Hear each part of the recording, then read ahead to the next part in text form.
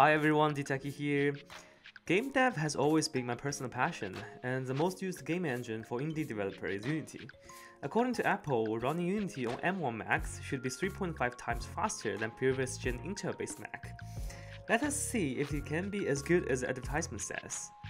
Here is my first impression of Unity on M1 MacBook. First of all, the installation process of Unity Editor is the same as the Intel-based one.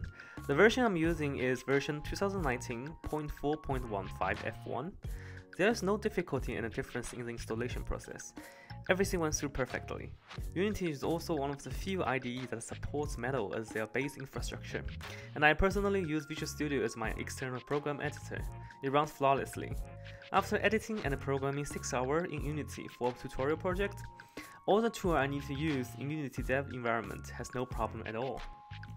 Unity editor itself has been extremely stable. That really surprised me. I have not experienced my first engine crash yet. Usually when I use my Unity editor on my other computers, PC or Mac, doesn't matter the platform, I have experienced quite a number of crashes, and for someone who familiar with Unity, we all know that Unity doesn't have autosave feature, so to have such a stable platform from day one is really a lifesaver. I personally do most of my dev work on 2D games, so I can say from my personal experience is that the overall performance is outstanding. Oh, uh, first of all, we still have all the functionality on the Unity editor.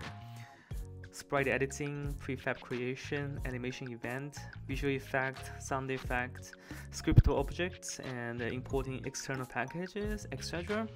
All the functionalities are still there so I haven't found any functionality shortage yet. On top of that, the performance is just amazing. All the processes are noticeably faster, and from loading scene to sprite animation to editing on the run, all of them are faster and smoother compared to the previous gen 13-inch MacBook Pro. And from the project I tested, both 3D games and 2D games will run at stable 60 frames per second.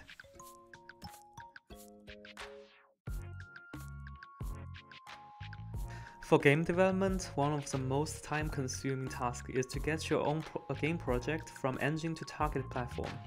So I went through the entire process of building project in Unity to successfully deploy the game product onto my own iPhone. So for M1 Macs, from building the project inside the Unity to have a complete Xcode readable project folder takes about 1 minute and 24 seconds. Then from Xcode build to successfully running the game on iPhone takes about 58 seconds. The entire process only takes 2 minutes and 22 seconds. This number alone doesn't say much, but let's compare it to last gen 13-inch MacBook Pro. The same project takes about 6 minutes and 47 seconds to complete the publish process. And to be specific, that's 250 for Unity build and 4 minutes for the Xcode build. We literally get about 3 times of a performance jump in this generation compared to the last gen. Overall, Unity on M1 MacBook Air has great improvement in performance and stabilization compared to the last gen. Also, I want to mention Unity announced that version 2020.2 has native support for Apple Silicon but I didn't transfer my working project onto the newest version because I never had a good user experience on alpha or beta version of Unity. If you are working on something important, I wouldn't recommend you upgrade it as well. Just save yourself from the endless hustle and crash and beta testing for the Unity. I will wait and see the difference when they release the official version of it, and at that time I will do a comparison again. Alright, that is it for my first impression of the Unity on M1 MacBook. I hope that information helped and thank you so much for watching.